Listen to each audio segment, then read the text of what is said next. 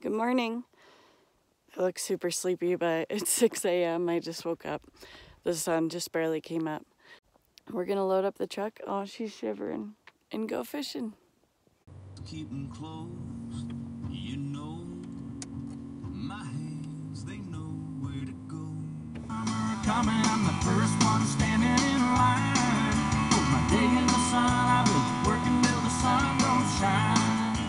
Me and my girl made it to our fishing spot.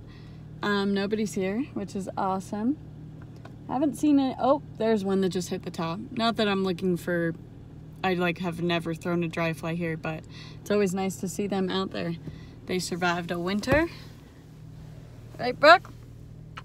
You're the best adventure kitty. You are. She's the best. Uh oh, Mama Goose isn't gonna be very happy with us. Brookie, you're getting close to the water. You're making me nervous. Goose eggs. If she comes, we won't disturb her. We won't hurt them. I'll make sure Brookie doesn't hurt them. Apparently, Mama Goose is using an old beaver dam for her eggs, just like I use an old beaver dam to fish. So this one's a little bit bigger. I feel bad. I scared Brookie. I flung him on shore and she was like, what is coming at me? And ran back behind the camera. But here he is. I'm going to let him go. A little bigger, a little chunkier. And he's gone. Sorry I scared you, Brookie, with that one.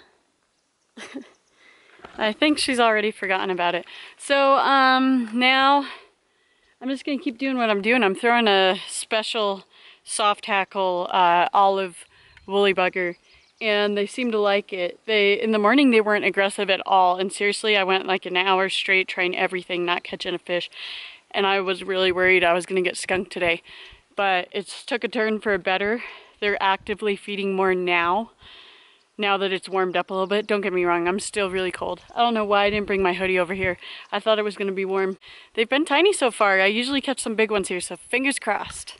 Brookie, are you mad that I flung the fish onto shore right onto you? Now you're gonna eat my tippet? Not cool, Brookie. Look, another little one. See, I'm catching fish, but uh, they're also little. They're usually really big in here. Brookie, are you cold? You going back in your little cat carrier? Hi. Hi, fishing kitty. It's gotten colder. Some storm clouds are kind of rolling in, little raindrops every once in a while.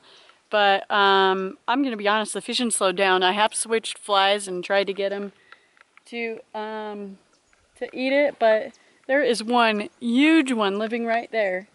Once he followed mine, another time he hit it, but I didn't get him. I don't know what happened, but he could have just bumped it too, not by the hook or right behind it, but I'm bummed. It's okay. I'm probably a little rusty because I haven't fished since I had such a tough semester, but he's big. I'm going to be back for him. Um, another day though. Right now he needs a break. These tigers are kind of territorial. Lots of times you'll see him in the same spot.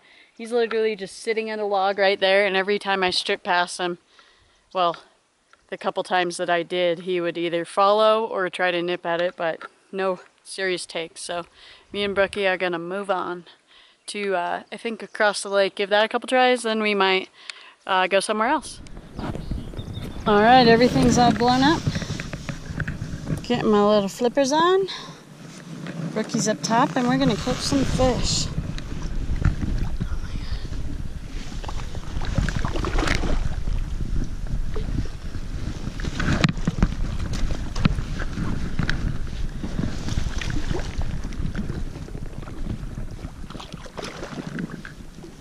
Oh man, okay guys, I don't know if my GoPro got that because when I looked down it was face down. I might have knocked it over, but you didn't miss anything because it was a mess trying to net him.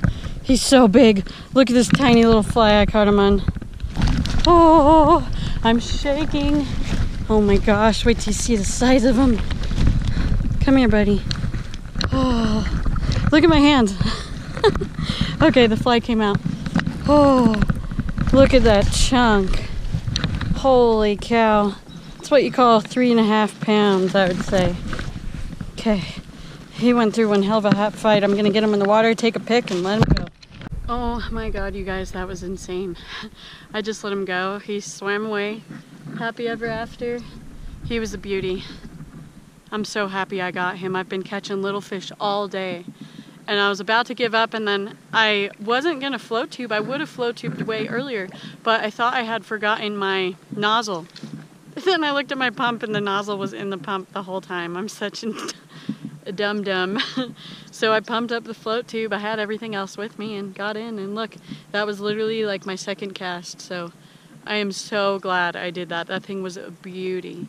I'm gonna try and catch some more because why not? That was a fight on that little tiny. I'm using like a size 20.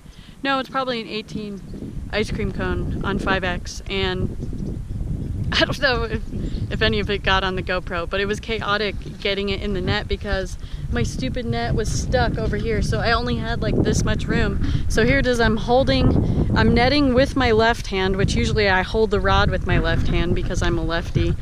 And it was just chaotic, but I'm so glad it worked out. so glad. Hey guys, I'm out here fishing again for tiger trout. It's a new day and I just was so excited to watch my video of um, catching this monster. So I pulled it up on my GoPro and it's not there. Um, during the struggle, I must have somehow made it go to camera mode. So I just got a couple clips, which is so sad. A couple of photos. I'll put them here. Man, that's so upsetting. I went bump, bump, set the hook. He, he hit it. I set the hook. I'm bringing him in and he went right under me.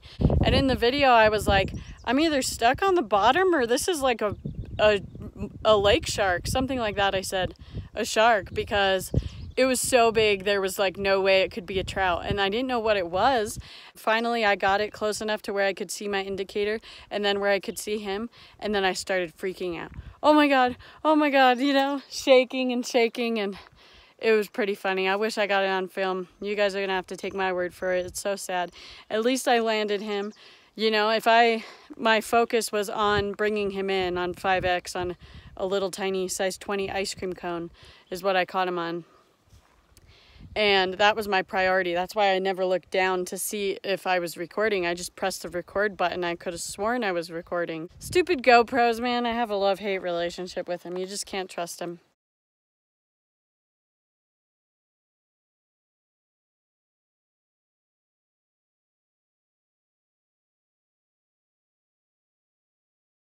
Okay, I'm sorry guys. I promise I'm taking the best care of the fish. I'm holding him so that he's swimming forward, getting air into his lungs, and I'm kicking back to shore because this might be a once in a lifetime tiger trout for me. I have never caught one this big. I'm making sure he's safe. I would never harm him. I mean, he's old. He is a giant. Oh my God, I have never caught a chunk this chunk. Ever, ever. And he's so orange. You guys heard me on the video. I was like, this is either a shark or I'm stuck on something. His dead weight below me on 5X on a size 18 um, fly was out of this world. I mean, that was insane. He is seriously the most beautiful fish of my life. I'm gonna let him go.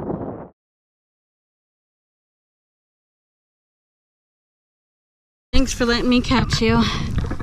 You are unreal. I'm gonna let you be ready to go, okay?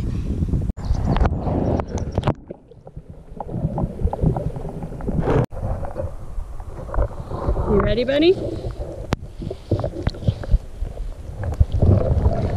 There he goes. Bye, buddy. I love you. Oh my god, there he goes. I think I could cry. that thing was amazing. I hope I got a good picture of it. I didn't want to keep it out of the water too long. When you are that big and that obese, you are out of breath when you fight me, the fisher woman. So I wanted to get him back in the water as soon as possible and that's what I did. And he swam off happily ever after. Well, you guys, a little post catching my personal best tiger trout um, interview. I have a confession. That fish, I'm pretty positive, was Quasimodo. Quasimodo is this ginormous bright orange, huge humpback fish that I have stared at in this lake for two years. I have thrown everything at him and never gotten him to bit. I've seen him swimming around. He'll come check out my fly, check out my nymph, swim away. Once ever he went for it and it was a full out miss. I watched him. There's no chance I could have gotten him because my fly was here and he went and just munched and just missed. And uh, trout's eyesight isn't always as good as you think it is, so that happens a lot. That was the one time he almost went for my fly. But today I caught him and it was blind casting. Casted size 20 ice cream cone.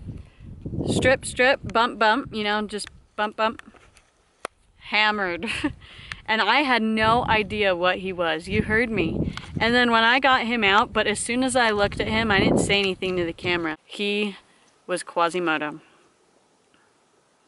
The humpback of Notre Dame. The hunchback of Notre Dame, Quasimodo. The hunch trout of Notre Lake. Guys, I seriously, like, when I see, like, a crazy fish that I'm obsessed with, I name him. And that was Quasimodo because of the size of his hump. When I saw him in the water, I always thought he was 36 inches. I'm stupid, I don't ever measure my fish. I don't know how big he was. Why don't you guys comment how big you think he was? For scale, I'll put a picture of my last personal best trout, which I know was 24 inches, and this one was bigger than that, I swear. Pictures and video might not do him justice, but this one was way longer and way heavier. So tell me, what you guys, what do you guys think? How long do you think he was? Like I said, when I saw Quasimodo in the water, I could have sworn he was 36 inches, but his hump did not disappoint. Did you see the size of that thing? That is what you call Quasimodo, first of all. But Chunkzilla, Chunky Cheese, Chunk Back of Notre Dame. That's good, actually. That Based on how chunky is, I think that should be his new name. But guys, he's back in there, so I'm going to see him swimming around again. Um, today wasn't a very clear day, so I couldn't sight fish at all. Everything I was doing was blind casting. And, uh, but on a really, really clear day for the water, you can see the fish. So, I will be looking for chunchback, chunchback, chunk back of Notre Dame, Quasimodo, next time I'm fishing here. That was unreal. Any better than that. Just so you know what gear I was using, um, I have my six weight uh, Winston fly rod with a Galvan reel. I had I brought my seven weight with me. As you can see, I didn't even set it up, but it has sinking line on there. If I was going to use big streamers, that's what I would use. But the uh, six weight um, is set up with floating line, brand new Winston line, neon green. Um, then I'm using this Lost Creek float tube, and what's really cool is I was able to bring my camera out with me, which I don't usually get to do because of my Rockagator waterproof backpack. So, so this thing's sweet. I do have a discount code with Rockagator, as you guys probably know. You can go to rockagator.com and use Bridget20 for 20% off. And I love that thing. Is it focused? There we go. Yeah, I love that thing. It allows me to do everything I love and not worry about ruining my stuff. Okay guys, I'm out of here. That was unreal. Me and my brookie just came here just looking for some good fish and I had no idea that I would catch the tiger trout of a lifetime on a size 20 ice cream cone on 5X fluorocarbon tippet, you guys. That was unreal. I had, by the way, I had the uh, fly about five feet below a little tiny um, sticker. I like to use the sticker indicators. And that thing just went right down in the water. This thing hit it so hard. Sorry, I keep talking about it. I'm trying to say goodbye. But thank you so much for watching, you guys. I'm back living in my trailer, back living my dream with my cat. And uh, we just had a really good day. So if you want more, please subscribe and I'll get to making more fishing videos. That, that has to be my favorite fish I've ever caught. And it was really fun in the float tube. I needed that. That was so fun. All right, thanks guys. Thanks so much for watching. I'm saying goodbye for real this time. Goodbye.